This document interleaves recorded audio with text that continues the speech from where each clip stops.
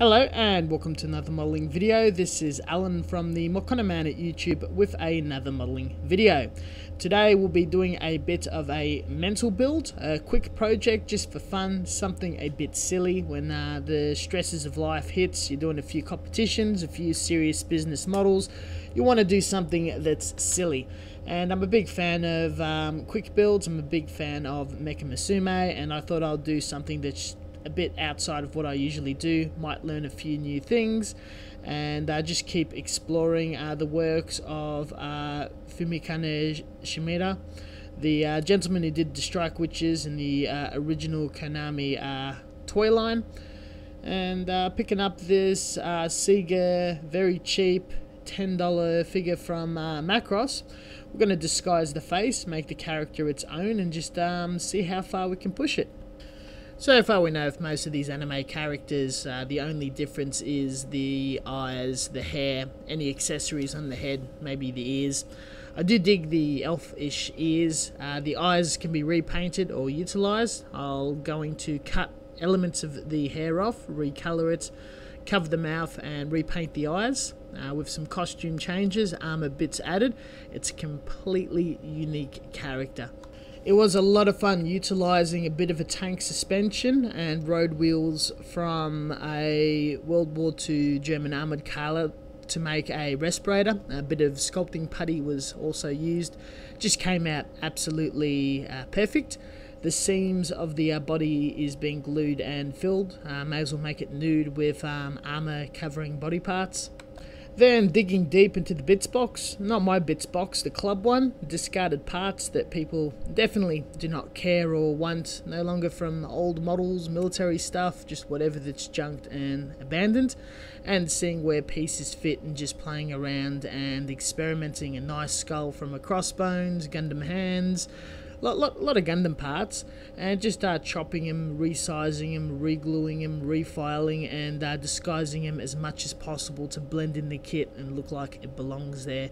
There's an issue called Panzer IV and Outer Space Syndrome where people make uh, model kits or scratch builds of their own unique ideas and they'll steal parts from a kit and glue it on, but the people that are familiar with the machine, the tank, or the item that's just glued unmolested, unmodified, just stands out. And uh, a lot of the Star Wars models from the original series uh, suffers that. The Millennium Falcon has uh, wheels off a Panzer IV on it, thus the term.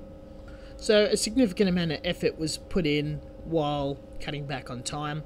With the padding of the body, I utilised uh, a pre-mixed polyester um, bog for automotive cars onto the soft vinyl, sanded it back and hit it with a few coats of uh, automotive primer to cover any imperfections.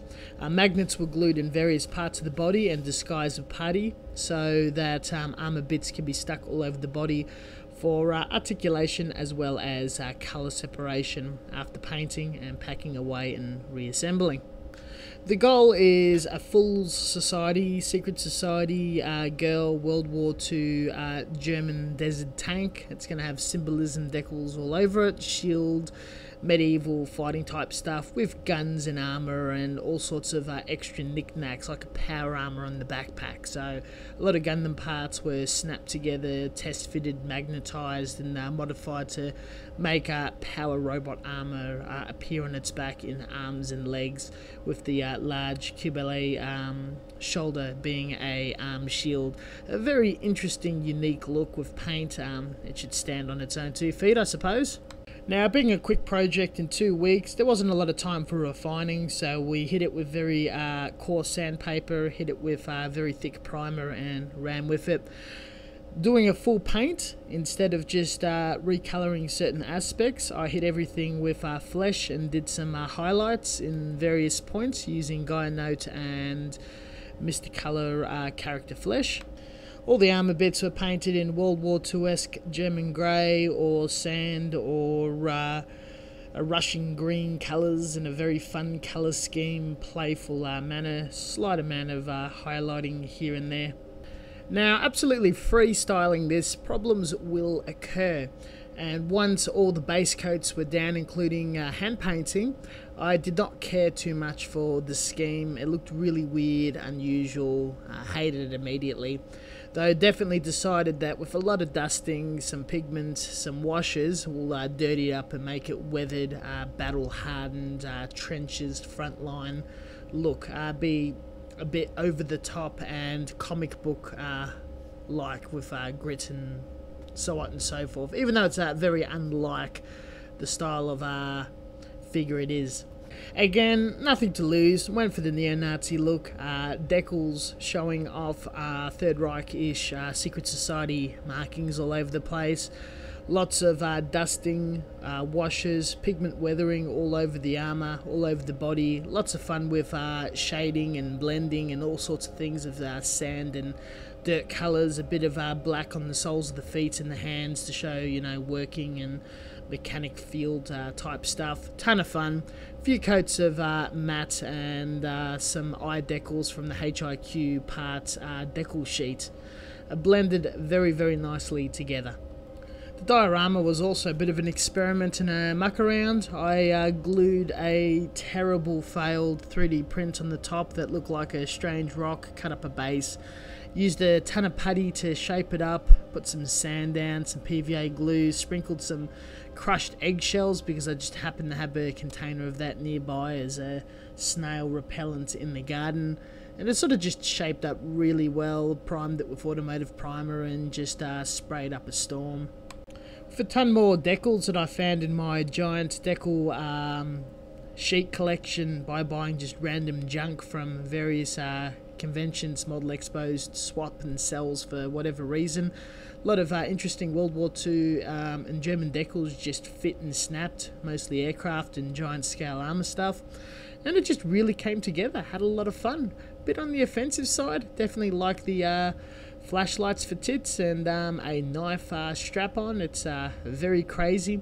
The experiment of um, hiding the mouth, changing and cutting up the hair, changing the color, changing the eyes have just created a new unrecognizable original character. Uh, no backstory or anything, can't be bothered going that far. Fitted and put the parts together, even though some of the parts can be recognized with enough uh, modding and coloring. Um, they just blend in and create their own thing. The idea was silly, it was quite playful. Two weeks, had a lot of fun. The Gundam bits were just snapped together, glued, didn't even worry about seam lines or anything, just strategically chose the right parts to stick on an already established toy.